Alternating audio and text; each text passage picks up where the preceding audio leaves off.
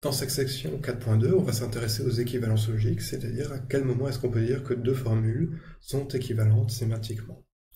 Et on va s'appuyer très fortement en fait sur la vidéo précédente qui traitait des conséquences logiques. Et ça, ça découle de la définition d'une équivalence logique, qui veut dire que deux formules propositionnelles phi psi sont logiquement équivalentes, si et seulement si elles sont conséquences logiques l'une de l'autre. Du coup, on va pouvoir reprendre euh, ce schéma en trois parties j'avais introduit pour les conséquences logiques. Euh, j'ai un petit peu modifié déjà et j'ai effacé certaines choses. Donc la définition sémantique maintenant c'est si a pour conséquence logique phi et phi a pour conséquence logique psi.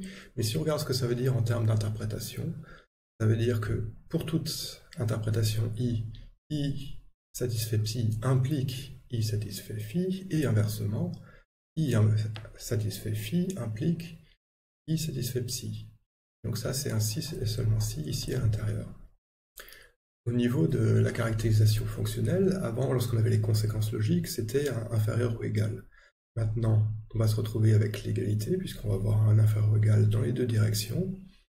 Et au niveau des interprétations, ça revient à dire que pour toute interprétation, la sémantique de psi en i est égale à la sémantique de phi en i. C'est ce qu'on va pouvoir vérifier par exemple dans des tables de vérité.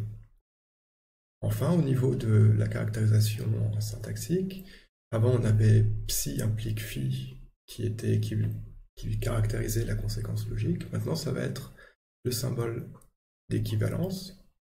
Et donc, phi et psi vont être logiquement équivalentes si et seulement si la formule psi équivalent à phi est valide. Donc on va vérifier que tout fonctionne comme tout à l'heure sur un exemple. Et pour ça, on va vérifier que je vous arnaque pas quand je dis que euh, psi implique phi et phi implique psi, c'est la même chose que psi équivalent à phi.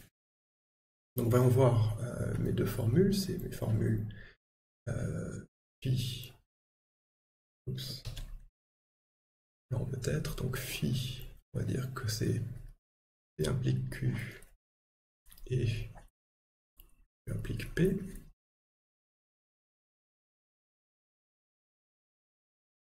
Et psi, c'est P équivalent à Q. On va montrer qu'elles sont équivalentes.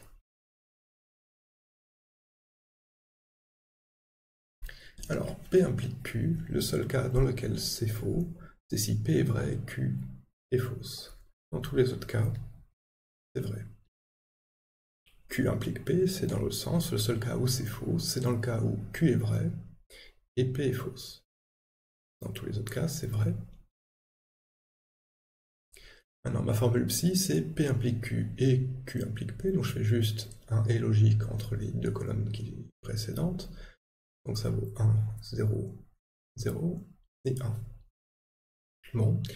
Maintenant, phi, c'est la formule P équivalent à Q. Donc cette formule-là, elle est vraie par définition exactement quand P et Q ont la même valeur. Donc elle est vrai sur la première ligne, les deux ont la valeur 0, fausse sur les deux lignes suivantes, et vrai dans la dernière ligne où les deux P et Q ont la valeur 1. Donc là, on a vérifié qu'il y a équivalence par la définition fonctionnelle. Ces deux colonnes sont identiques, la colonne pour psi et la colonne pour phi. On peut aussi vérifier l'aspect syntaxique. On peut vérifier que psi équivalent à phi est bien valide. Pour vérifier qu'elle est valide, il suffit de vérifier que la colonne correspondante vaut 1 tout le temps. Et donc, il suffit de vérifier pour ça, 1 et 1 c'est la même entrée, 0 et 0 c'est la même entrée, 0, 0 c'est la même entrée, et 1 et 1 c'est la même entrée, c'est bien une formule qui est valide.